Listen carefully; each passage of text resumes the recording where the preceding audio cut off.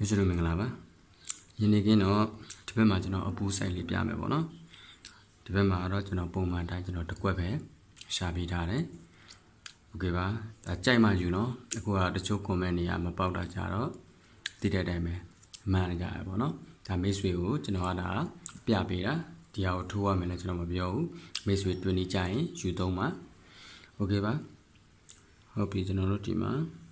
နှလုံးပေါင်းခြင်းပေါ့နော်ပြီးတော့ကျွန်တော်တပင်ကြာဒီမှာနှလုံးပေါင်းခြင်းတပင်ကြာဒီမှာနှလုံးပေါင်းခြင်းโอเคဒီမှာ2 5ပေါင်းခြင်းကျွန်တော်တို့ခွန်နော်ပေါင်းခြင်းခွန်အဲ့ဒီမှာ1 6 3ညဆိုပြီးတော့ပေါင်းခြင်းခွန်လို့ဖြစ်ပါတယ်โอเคဒီမှာ4 1ပေါင်းခြင်း5တူတူပဲ9 6 4ဆိုပြီးတော့ပေါင်းခြင်း5လို့ဖြစ်တယ်ဒီမှာ2 5ပေါင်းခြင်းခွန် โอเคဒါဆိုရင်ကျွန်တော်တို့ဒီပေါင်းခြင်းကကျွန်တော်တို့ခွန်ဖြစ်ပြရမယ်ကိုတက်ပေါင်းခြင်း3ညာရှိတဲ့အတွက်ခွန်ဖြစ်ဖို့ကျွန်တော်တို့ခွန်ထည့်ပြီးမယ်ခွန်ထိပ်ပေါ့နော်ဟုတ်ပြီကျွန်တော်ပိတ်ပြမယ်အပိတ်ကလည်းကျွန်တော်ဒီမှာ6ရှစ်ဆိုတော့နှလုံးပေါင်းခြင်းနော်တယောက်ကဒီမှာ3ညာခွန်ဆိုတော့နှလုံးပေါင်းခြင်းဒီမှာ6 9ဆိုတဲ့နှလုံးပေါင်းခြင်း ဒါကျွန်တော်ကြိုရိုက်ပေးတာဆိုတော့မနေ့ကမှဘာဘာစီနဲ့ဆူတောင်းပါနဲ့โอเค6ရှစ်ပေါင်းခြင်းလေးနော်ပေါင်းခြင်းလေးကကျွန်တော်တို့ဒီမှာဒီ3လုံးနှစ်5ခွန်ဆိုတော့ပေါင်းခြင်းလေးလို့ဖြစ်တယ်3ညခွန်ပေါင်းခြင်းခွန်လေးတစ်နှစ်ဆိုတော့ပေါင်းခြင်း3လုံးပေါင်းခြင်းခွန်လို့ဖြစ်တယ်6ကိုပေါင်းခြင်း5ဒီမှာကျွန်တော်တို့ပေါင်းခြင်း5ဖြစ်ပြရမယ်โอเค တွေ့ကျွန်တော်တို့ရှစ်ခွန်ရှစ်ပေါ့နော်ခွန်ရှစ်တစ်ပွဲရပြီโอเคဒီမှာပါကျွန်တော်ပြမယ်အပူပေါ့နော်ကျွန်တော်ပုံမှန်တိုင်းဆိုရင်အပူကမကစားဘူးပေါ့နော်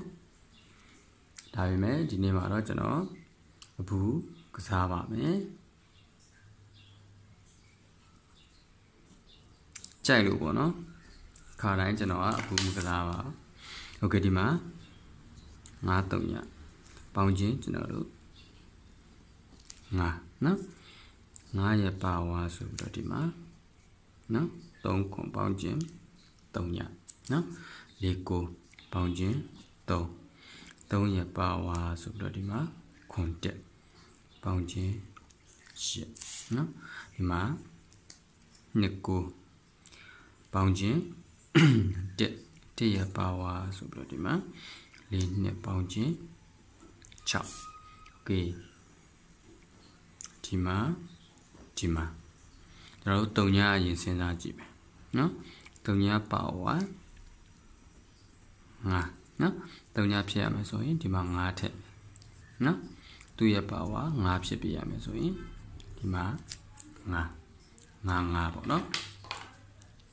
ဒါကဘယ်လိုစဉ်းစားစဉ်းစားကျွန်တော်တို့ okay 1ပေါ့နော်1ပါဝါ6 စဉ်းစားလိုက်မယ်နော် okay တက်ဖြစ်မယ်ဆိုရင်9ရှိတဲ့အတွက်ဒီမှာ6ဖြစ်ရမယ်ဒီမှာ3ညရှိတဲ့အတွက်ဒီမှာ6တက်အဲအတွက်ကြောင့်ကျွန်တော်တို့အပူးတွေပေါ့နော်ဒါလာပါလိမ့်မယ်ဒီနောက်တစ်ခုရှင်းသွားပါတော့နှစ်နှစ်ပါဝါခွန်နှစ်ဆိုရင်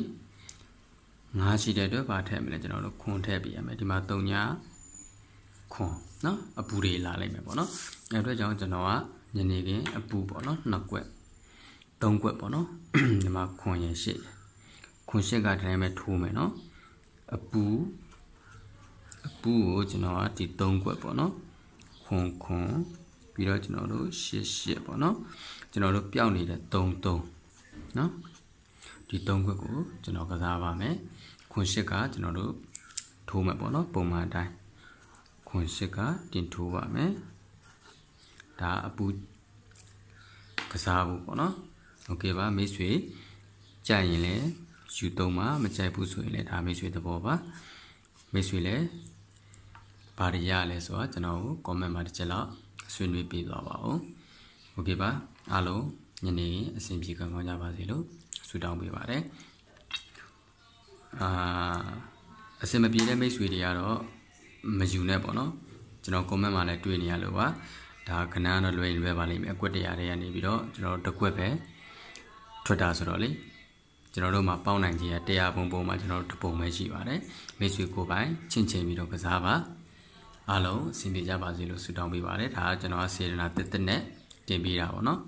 မိတ်ဆွေကြိုင်ရင်လည်းယူပါမကြိုင်ရင်လည်းမယူပါနဲ့အားလုံးဖိုင်ဖိုင်ပါ